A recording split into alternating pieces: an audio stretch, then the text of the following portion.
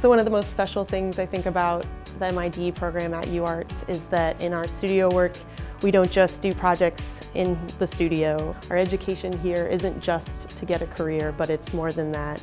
It's really an education for our entire lives and who we are as people. Particularly with our program, we're interested in, in using design as a way to work with others to make meaningful change in the world. You know, what, what's really exciting about working with students they often show us things that we've never seen before as well.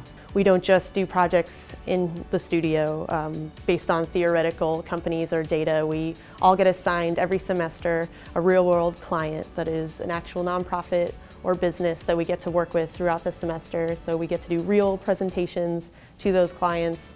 Um, and it's such a, I mean, it's an indescribable opportunity in terms of then segueing into the working world after you graduate. We want students who are self-motivated, who can take initiative, who can be entrepreneurial in how they approach the challenges in their lives, but also um, the, the larger challenges of the world around us.